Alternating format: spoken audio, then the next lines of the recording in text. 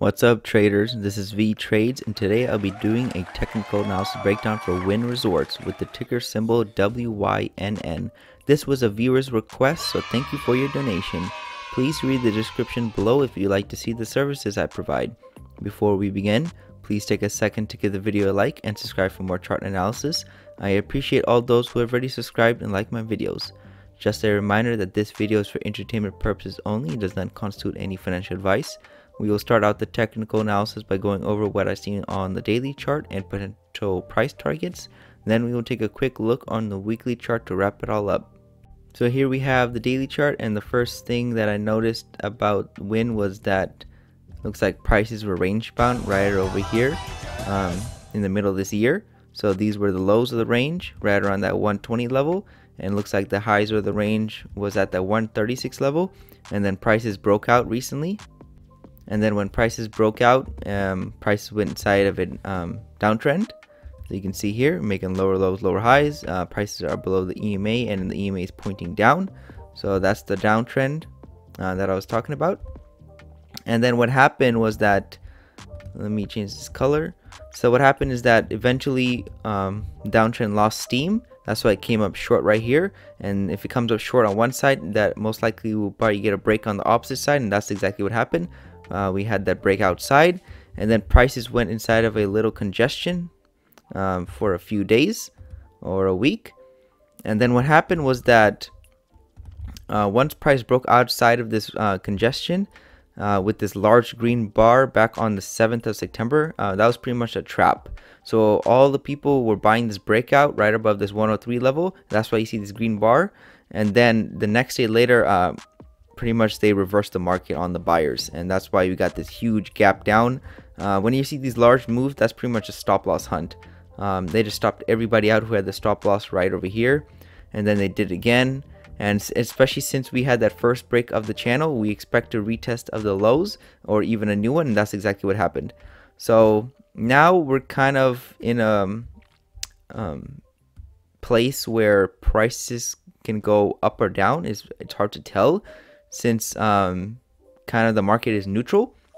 So since this downtrend is kind of played out it's hard to tell if we're going to reverse and just go right back up to the highs or we're gonna continue lower to make that new uh, second leg. Because if we get a break of a channel usually the market does two legs. So this could be the first leg and then we can get something like that a little correction up and then the second leg. Or we could just um, continue sideways in a range um, I do see this gap over here that prices could fill and that's what looks like prices were doing during the whole time prices were slowly coming back down to fill in this gap and eventually um, it will do it uh, most likely um, so gaps kind of pretty much almost filled. Um, the lows of the gap is uh, $80 level, so we're pretty much right there. So I don't know if the market wants to go down just a little bit more um, before continuing higher to fill in this gap, or we're just going to continue lower and lower to some other price target. So let me just zoom out a little bit more on the daily chart. So as you can see here, right back um, in mid-March, right around this 142 level, that would have been the place to take profits because prices already made two legs up. So this was the first leg up. And if I just drag this over to the bottom of the move of that second leg right around here that's pretty much where it started. And it's lower than this low so it's pretty much right at that target 142 and that's why prices sold off and could not go higher than this um, there was also this uptrend that I see um, prices respecting right around here.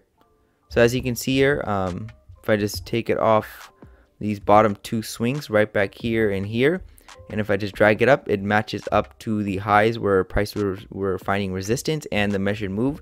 So those are a lot of reasons to get out of the market right over here. At least take some profits off the table, and then you could have saved um, some shares and bought back in later. But that's pretty much what happened. Um, up on this upper side of the channel price found resistance three times that was the first time right here the second time and third time and then prices just gave up and started going lower and prices were slowly going to come back to this side of the channel but eventually broke it and then um, we just had a break outside a new low of this downtrend channel so if this uptrend channel is actually in play since we had a um, end of this downtrend and a new low and the first break of this uptrend channel, uh, we could potentially reverse back up and retest these highs or even surpass it. Um, it's just hard to tell right now because um, we just had the sell off and right now we're in a transition transitionary period where we could either do this or we could just make that second leg down or just go sideways. So it's hard to tell, but those are the three scenarios I see playing out. If we do, um, I believe we would will get a pullback sooner than later because we kind of got extended from the EMA. Prices just went straight down. So if we do get above the EMA and start trending up and up, um, that's my next target where we can reach. Um, pretty much these highs or even make a new one. But if we do make uh, just a little correction and find resistance again and continue lower, then I'm pretty sure we're going to continue lower all the way down to um, the weekly chart target I'm going to show you guys right now. So here's the weekly chart for Wynn and it's pretty much just a range bound company. So it's pretty much just been going sideways for its entire time it's been on the market. So these are the lows of the range and if I drag this up it looks like these are the highs of the range. So pretty much the price is at where it was back in 07 or 08 or even 010, 2010, excuse me.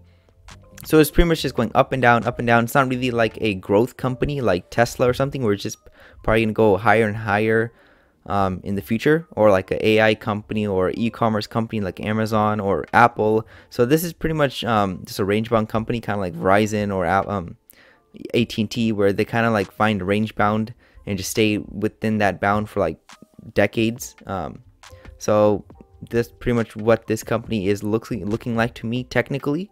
Um, it could become worth more in the future, but as of right now, it's pretty much just going up and down. Um, pretty much back to the same price it was in 06, 07. So you didn't really make money if you held on for that long. So I'm gonna show you guys some measured moves right here.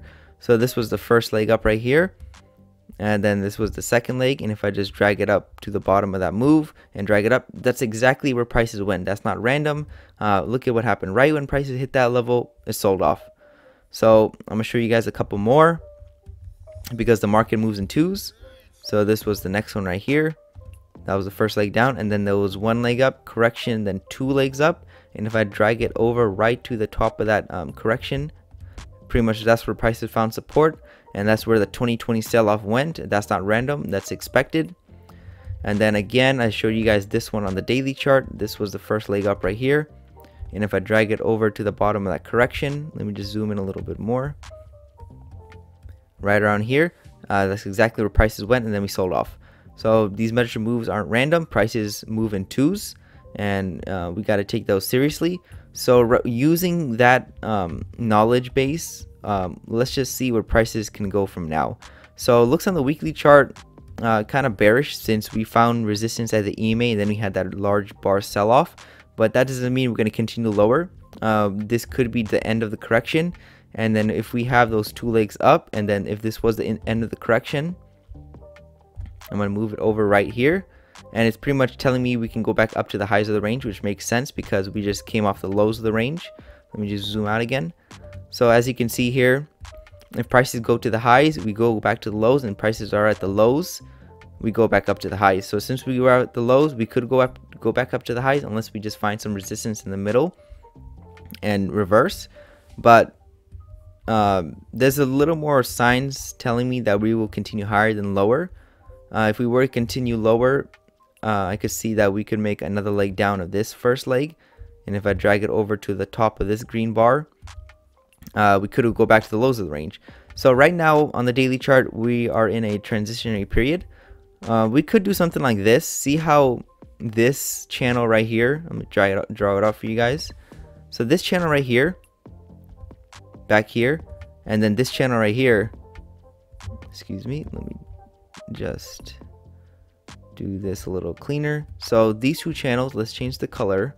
Let's make them blue. So these two blue channels are pretty identical in terms of the degree and uh, amount of bars in it and then prices came short and then we had a correction up um, excuse me prices um, came up short right here just a little bit and then we had this break outside with this red bar and then it moved to a new low and then we started trending up just a little bit so that could be the same pattern here we had that downtrend a break outside and move to a new low and then we could start trending up so we just gotta wait and see um, So that's pretty much all I see for the daily and weekly chart. So um, we pretty much had that downtrend. Um, then we had that break outside, move to a new low.